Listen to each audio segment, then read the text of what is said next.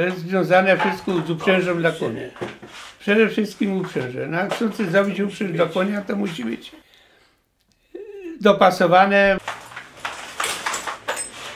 Formuje się hamonta na tym. O. To jest taki kloc, który się na tym formuje hamonta. To jest, zależy od konia. Jaki tu mały konik, większy, większy, większy. O. No my mamy przeważnie hamonta, yy, uprząż hamontową robimy.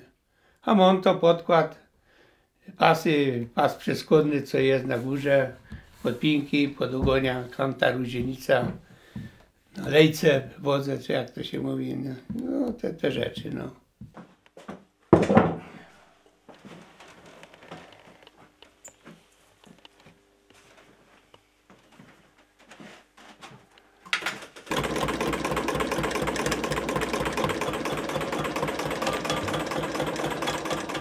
Dużo też się robi też podjeździeckie też, to są, no to te tarazelki, siodła, no, no, ale to przeważnie my to tylko tak reparacje to robimy.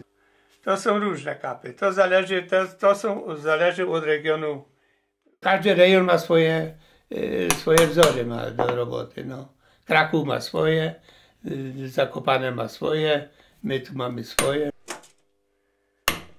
Metalowe części to wszystko nam robią, e, są zakłady, które, no, które się zamawia u nich i przysyłają nam. No. Albo skóry, no to normalnie w garbarniach, y, do garbarni się jedzie. A później też ozdobić.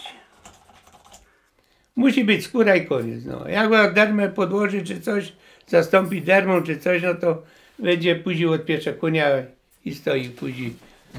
Musi rolnik dwa, trzy tygodnie stać i leczyć konia, bo nie będzie. No. Różnie było. No, pracowałem w spółdzielni najpierw jako uczeń. W 1964 roku poszedłem do zawodu. No i szkołę, praktykę tam robił, no i później pracowałem normalnie jak w usługowym zakładzie.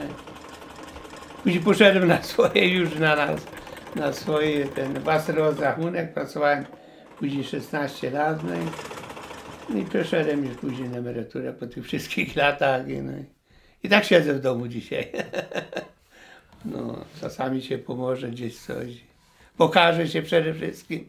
Dorastał syn, no to no, no gdzie pójdzie, gdzie pójdzie? No pójdzie, no jak chcesz to, to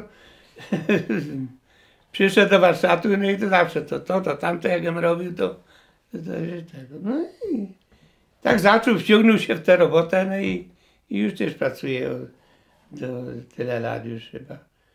No. Później drugim, drugim syn pracował jako, poszedł do praktyki, do, na mechanika się uczył, no ale to coś mu to nie odpowiadało. I, i też przyszedł do warsztatu, no i tak się wciągnął i tak oni jeżdżą, bo co się zrobi, to oni rozwożą to po, po rękach. Ale sami też robią, tak? Tak, tak, tak.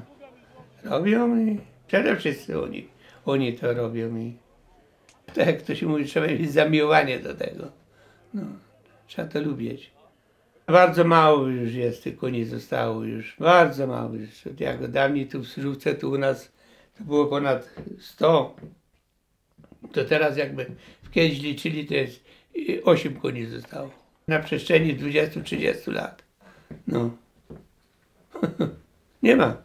Tej krów, jak i wszystkiego.